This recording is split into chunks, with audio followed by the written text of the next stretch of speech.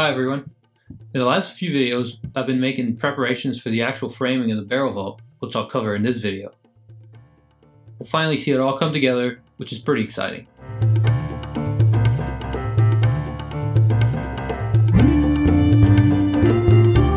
In last week's video, I talked about how I came up with the templates and then the framing ribs for the barrel vault. And then the week before that, I talked about how I built a jig that will allow me to frame the barrel vault by myself and also fairly accurately. Now that the jig is built and the ribs are cut, let's put it all together. The first order of business is to get what I'm calling my rim joist or ledger located and installed. This 2x6 needs to run the whole length of the room on both sides to connect the ribs at the base of the arch. So I can use the jig to determine how far I need to fur out the walls to make sure the 2x6 ledgers are parallel to each other and to the LVL ridge beam. So I'll start by cutting and installing some blocks that will push the 2x6 ledger exactly up against the jig. I can then run a string from the corners and measure along the wall to determine how much framing to add to the wall to match the string line. I am using some 2x4s for the furring and stopping them before the furring needs to be less than their thickness of an inch and a half.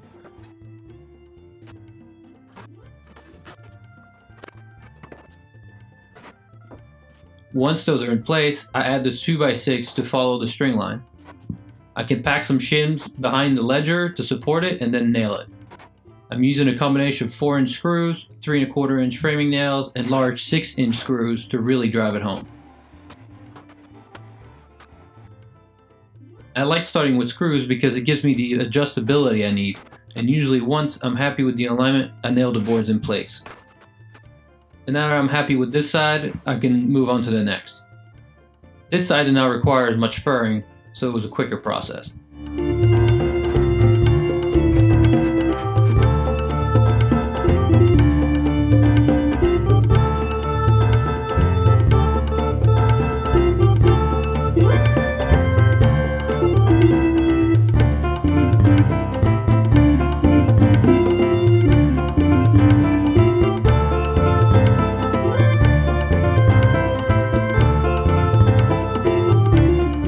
Next order of business was to add some collar ties above the LVL ridge beam to tie it to the existing roof rafters. These are simple 2x4s that I attach to the beam with hurricane ties, making a strong connection between the two.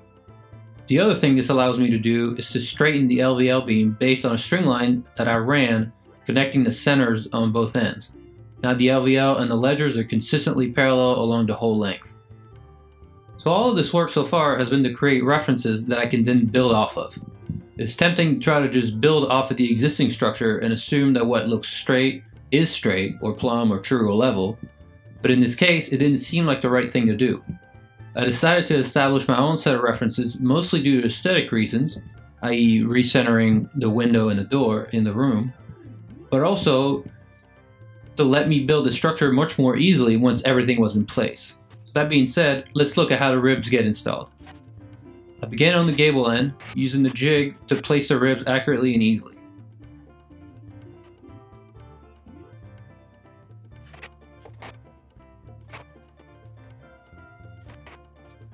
I can then move the jig to the next set of rafters, screw in the ribs, and repeat the process. This actually went really fast. The jig gives me a place to rest the ribs while I install them, and keeps them in the exact right place in relation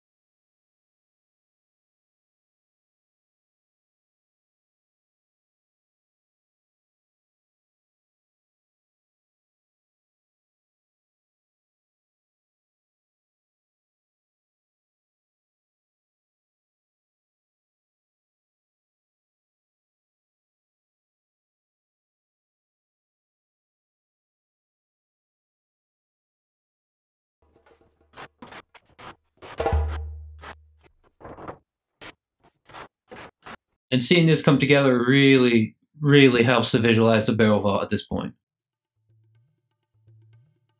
And so the last thing I wanted to do is to paint the purlins with mold preventing paint. Um, some of these purlins were showing signs of mildew from sitting out all winter, and I wanted to make sure that that wouldn't transfer to the back of the drywall. So I first sprayed them with a mold killing vinegar solution, let them dry, and then I painted them with a mold killing and preventing paint. And that, that combination should be enough to prevent further mold down the road. So the barrel vault is really starting to take shape now that those purlins are in. So next week, we'll talk about how I was able to get the drywall installed in this room. From bending it to installing it, this was fairly challenging work and interesting to see. So follow along and go back and check out some of the previous videos if you're interested. And thanks for watching. Now get back to work.